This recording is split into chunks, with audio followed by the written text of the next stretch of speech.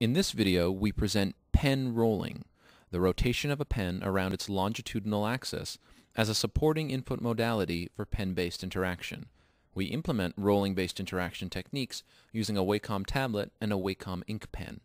The rolling of the pen is tracked by a Vicon real-time 3D tracking system to ensure highly accurate data. A real application might instead rely on tablet hardware for roll detection, such as a Wacom 6D Art Pen, at perhaps a slightly reduced fidelity. Prior to incorporating pen rolling into pen-based interactions, we conducted two experiments to investigate the properties of rolling a pen. Experiment 1 determined the thresholds that separate intentional pen rolling for the purpose of interaction from incidental pen rolling caused by regular writing and drawing. Experiment 2 determined the usable range within which a user can comfortably roll a pen, and the easily discriminable rotation that a user can intentionally roll a pen in a timely and accurate fashion. The rolling cursor is designed to visualize the rolling angle of a pen. If pen rolling is identified as incidental, the system shows the simple rolling cursor to indicate that rolling-based interaction techniques are not activated. The black cross shows the position of the pen tip, the red rolling line indicates the rolling angle, and the blue sector indicates the angular threshold for identifying incidental pen rolling. Once pen rolling exceeds the thresholds of rolling angle and rolling speed determined in experiment 1, it is identified as intentional pen rolling for the purpose of interaction. The full rolling cursor will fade in, indicating that rolling-based interaction techniques are activated. Whenever the pen tip leaves the tablet, rolling-based interaction techniques are deactivated and the simple rolling cursor is shown again. Object rotation is a common task in drawing and animation applications. However, if the interface relies only on the position of the pen tip, performing object rotation involves separate steps such as switching to a rotation mode and dragging a corner of the object.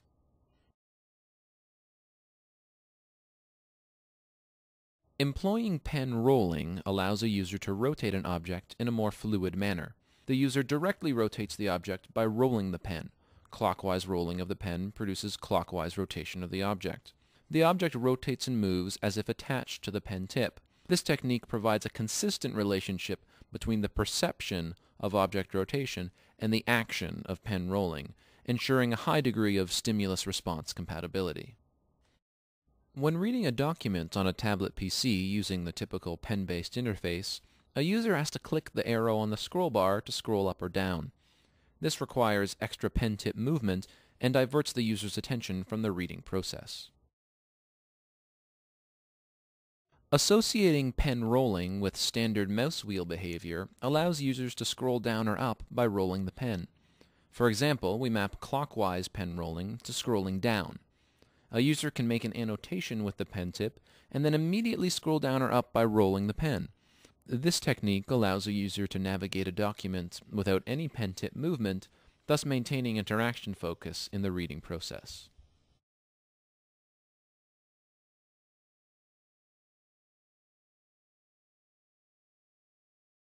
When browsing a map using a typical pen-based interface, a user pans by moving the pen tip and zooms in or out by clicking the on-screen buttons. Since panning and zooming are performed separately, user attention can be easily diverted.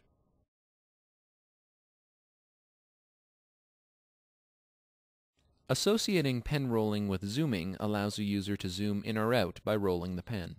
In our system, we associate counterclockwise rolling with zooming in. This technique allows a user to pan and zoom simultaneously maintaining the focus position during the task. In a curve editing task, the typical pen-based interface requires a user to separately adjust the position of a control point and the direction of its tangent vector. Combining pen rolling with both tip pressure and position allows a user to control four degrees of freedom simultaneously.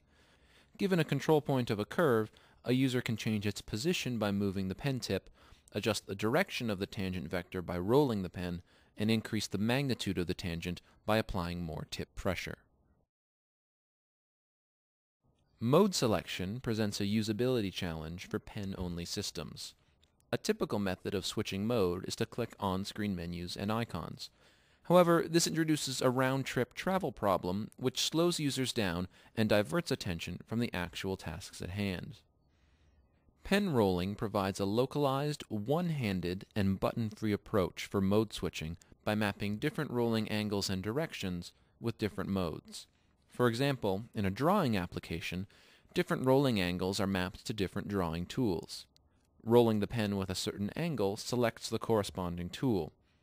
This technique allows a user to switch modes without moving the pen tip, eliminating the round-trip travel and maintaining interaction focus on the task at hand. We now show the system being used to create a simple drawing.